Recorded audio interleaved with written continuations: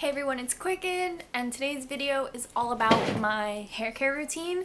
I get a ton of questions about my hair, what is your haircut, what is your hair color, blah blah blah, and I'm gonna try to touch on all of those things, products that I use, how I style, everything like that. Let's start in the shower. I try to shampoo my hair a couple times a week, probably three at the most.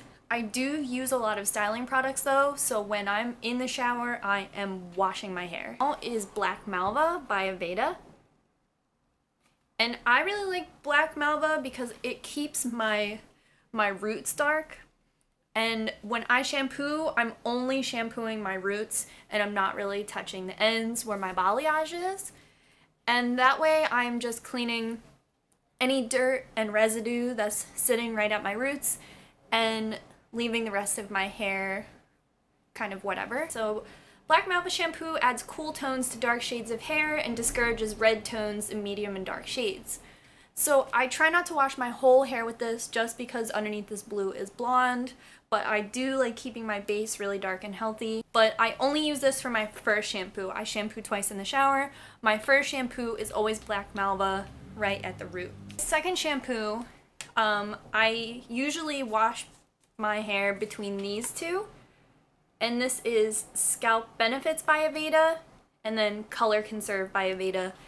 And I get a lot of questions like what shampoo can I use for my hair, my uh, my color processed hair, and I always say a sulfate free shampoo.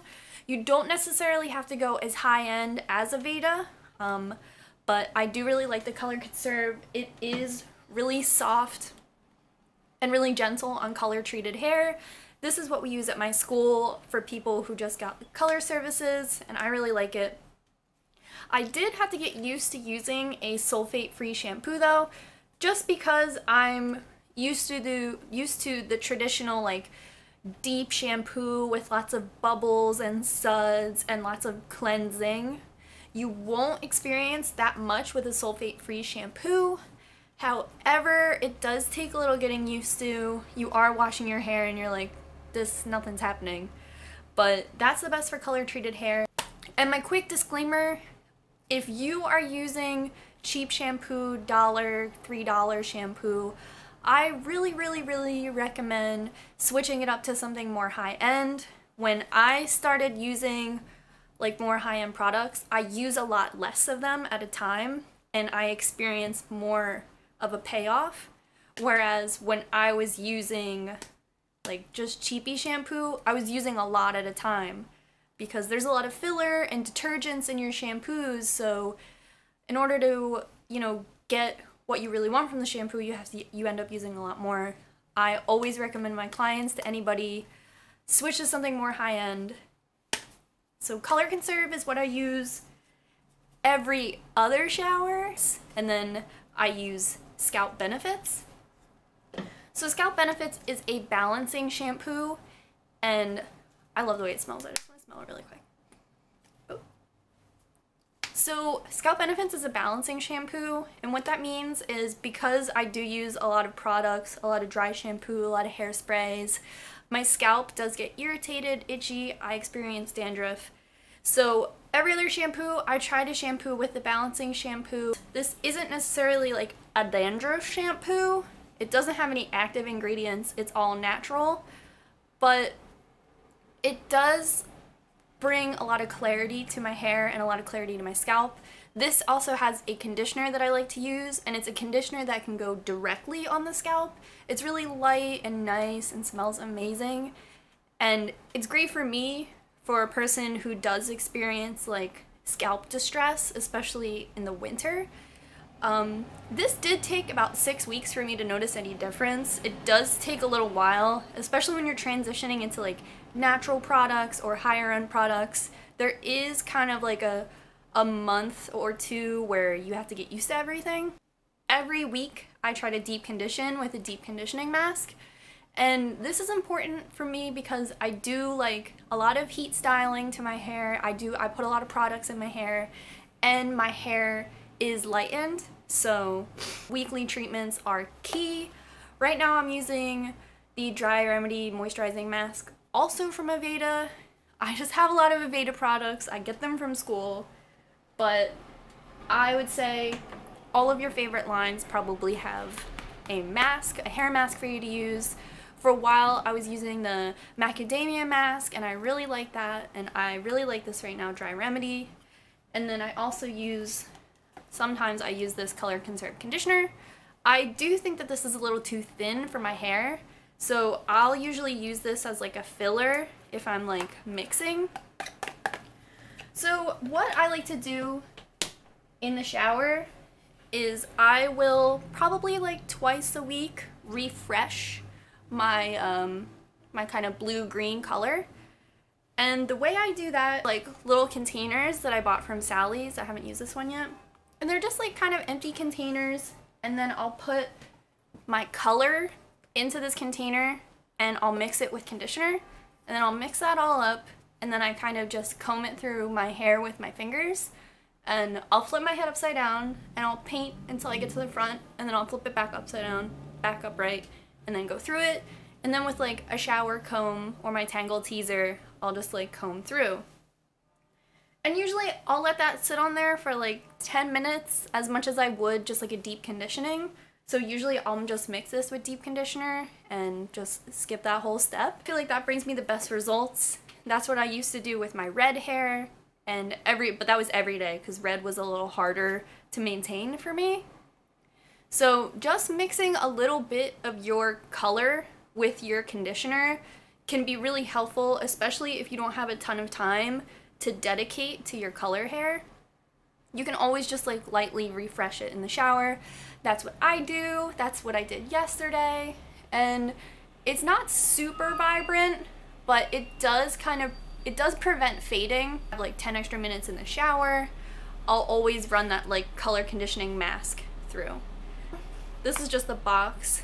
Is Color Brilliance um, Ion. And I get questions all the time about my color. Where can I get this color? Can I get this color at CVS? Blah, blah, blah. If you want professional color, either buy professional products or go to a salon to get it professionally done. I know someone asked me, they're like, hey, there's a lightning kit at CVS with blue. Is that what you use? I was like, no, don't don't use box dye. Don't use box dye from CVS ever. Box dye has metal and metallic salts and all of these things in it that you do not want on your hair. If you use box dye and then decide to get professional color done, you're going to have to have your color stripped. It's going to be a mess. It's going to be expensive. I just say either go to a salon, go to a school, our school only charges $25 per, for professional hair color. And it's Aveda, so it's all natural and blah, blah, blah. Or go to Sally's or Cosmoprof and get color. So this is from Sally's, and I do get a professional discount at Sally's, so I paid like $2 for this, but I think retail it's like 5 so that's not a crazy thing. $5 is cheaper than Manic Panic is cheaper than whatever the box dye is at CVS. So, and I bought this in July. So I've had this for about six weeks and I'm not even done with it. So I really recommend Color Ion. A couple things about it. You can tell that these are not the same color, but I also mix my color with conditioner every time I apply it this does not need a developer. This goes straight on your hair, straight out of this bottle. You do not need a second step. You can paint this right on your head. Your hair does have to be pre-lightened. I had my hair lightened professionally at Richard Nicholas Salon in Philadelphia. Um, some of my friends work there. I really recommend it. I had Josie. She was amazing. I had my hair pre-lightened and then I did this color to my hair myself. So I did not do this balayage. My hair um, probably lifted to about a level 9. So if your hair is like a natural blonde, you could do this. If your hair is like a natural 7, 8, 9, 10, this will show up on your hair, but it will show up to different degrees unless your hair is lightened to about a level 10, which is like blonde is blonde. The thing about this blue is it does stain, and it stains my scalp, and it stains my hands and it stains my nail beds. So if you are the least bit responsible, just put on gloves if you're doing it or kind of base your head. I'll base my head in like whatever is in the shower, like other shampoo. Just like kind of base it, tra- like trace your ear just so you don't go somewhere and you got like a little blue blue on your ear or whatever because it does really stain. But again, when I had red hair, it would stain my nail beds too. I just didn't have as much of an issue with it staining my face and scalp. But if you don't care about that stuff, I don't. It is ruining my towels and my bathroom, but it's fine. One more thing I want to say about this is I experience different color results when I apply it to wet hair versus dry. When I put it on dry hair, it is a little bit more vibrant than when I paint it on my hair in the shower. So if you have time to paint it on your dry hair, I would say just clean your hair first, let it dry overnight, whatever. Different color results. I think brushes are so important. I love brushes. Go buy yourself a nice brush. You'll be happy you did. So this is my round brush. It's by Chi. And I bought this at Ulta. I originally bought this to use at school and then it never made its way to school. So I use it at my house and it's good if you want to give yourself like a nice blowout, put your hair in sections, comb it, brush it. I don't use this as much as I wish I did because I don't have all that time. But if I ever take clients at my house or something, if I would probably use this. My everyday brush that I use is by Brush Lab and it's called Diamondwood Premium Boar Nylon Brush. I love this brush. It has the natural boar bristle and then it's just a nice paddle brush. I use this for every day. I would say wash your brushes like once a week. Um, a lot of dirt comes out of there and you can see better results. Don't brush your hair every day with the same old dirt that you brushed out of it. I try to wash this all the time and you can see that it's like turning blue. I just washed it yesterday. There's nothing I can do about that blueness. I love that brush. And then this is my teasing brush and this like is just some no name from a beauty supply store. One end has this nice sharp point for parting and then the rest is good for teasing. I like teasing for updos and I also like teasing if I'm gonna have this like big like poof up front. I think teasing is great. This brush was like 50 cents and I've had it since middle school, I swear. But, you know, clean this thing, clean all your brushes, and having one of these around is great, especially like if you do updos all the time and you want to have a straight part, but it's also good for like getting in your brush and cleaning out any hair and bacteria that builds up in here. This these to clean your brushes. So yeah, this is by Aveda, but this is brilliant damage control.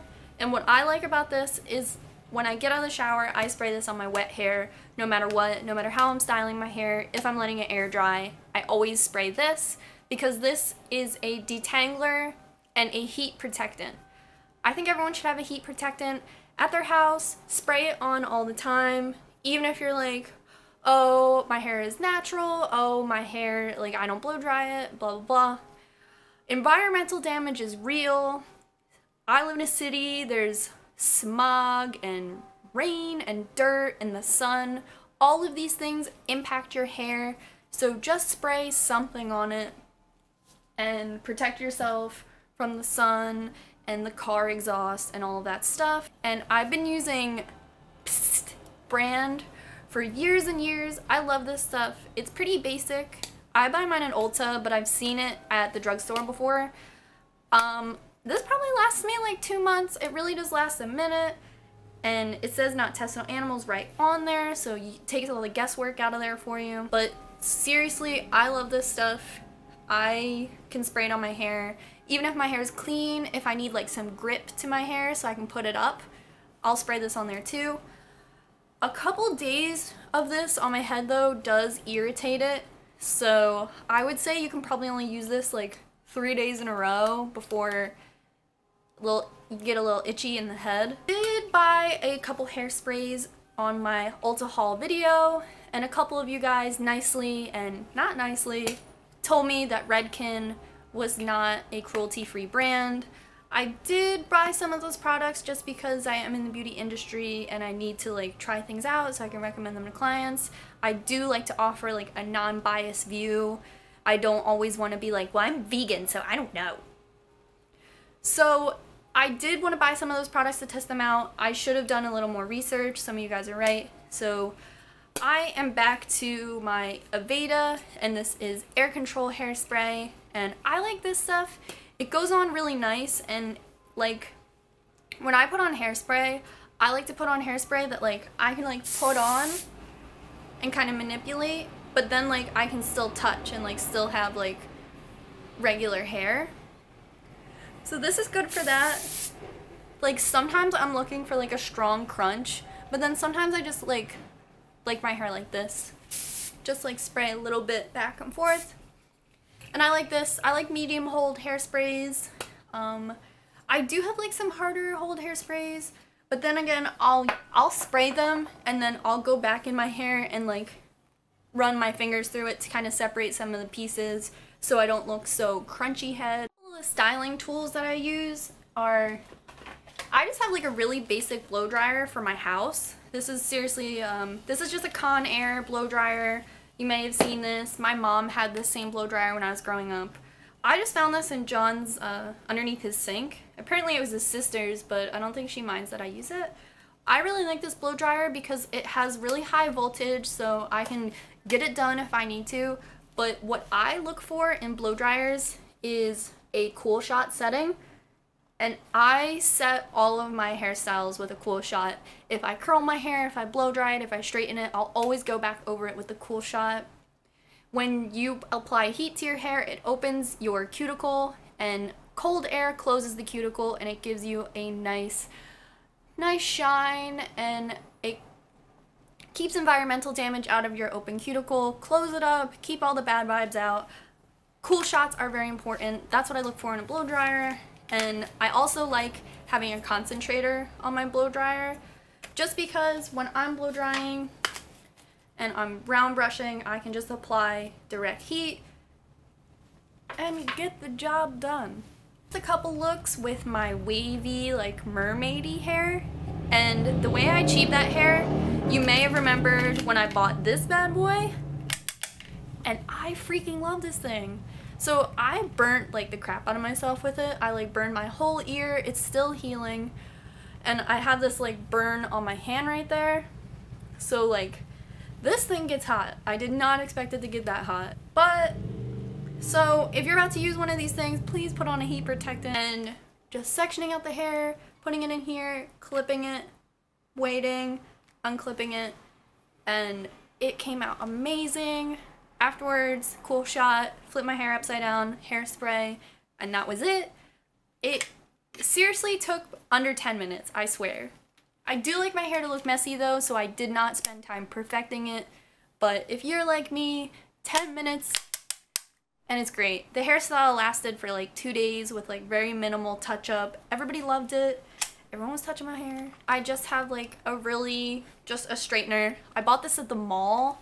It was like one of those stands where they have hair straighteners. Usually I don't fall for it, but I was all alone and the girl came up to me and she said, I love your shirt. And then I left with a straightener and I have a freaking green one. I really love it though. He's an oldie. I've had him since 2008, but what I like about him is these edges are kind of beveled so you can curl your hair. I have a video where I curl my hair with this and I like curling my hair with this more than I like my clipless curler. I'm not even going to show that guy because I barely use it. I like flat iron curls so much better. This thing gets as hot as the sun. I use it on more of a lower temp, but I straighten my hair almost all the time and for every single day since 2008 using this. I think it's a really good buy. This is by Cortex. I recently googled this. They are still a company and their hair dry their um straighteners are way better than this thing. But I've had this thing for life. Some of my little routines. Every weekend I do not do any heat styling to my hair at all. If I shampoo my hair on Friday, it is air drying and that is it until Sunday. One of my favorite hairstyles uses this clip and I tried my hardest not to be one of those beauty school girls who like has the clip in her hair. So I'll take my hair and I will just twist it around itself and then put this bad boy in it just like that and then I'll pull this open and I'll pull this forward and this is seriously one of my favorite hairstyles in life. I love it. I think it's trendy and like still like kind of messy like oh she doesn't care about anything. So that clip is one of my favorite things and I kind of like how it shows a little bit. I'm into that. And then I always have a hair tie just on my wrist at all times just in case. Sometimes I'll even put this bad boy up. Huh. So I know there have been some requests for me to do my favorite hairstyles and I would love to do that. I wanted to get this video out of the way though because a ton of people ask me about products that I use. Please use professional grade products. If you go to Marshall's, TJ Maxx, they usually have them on sale. Don't spend too much money if you don't want to, but please treat your hair well. And if you have any questions, let me know. If I didn't cover something that you were interested in, let me know and we can do a whole other video together yeah, thank you so much. Instagram, Snapchat, I'm there for you. And thank you to everybody who's been so kind about the video I posted yesterday. I love all of you guys so, so much. Subscribe, give this video a thumbs up, and let me know what you like. And yeah, until next time, bye!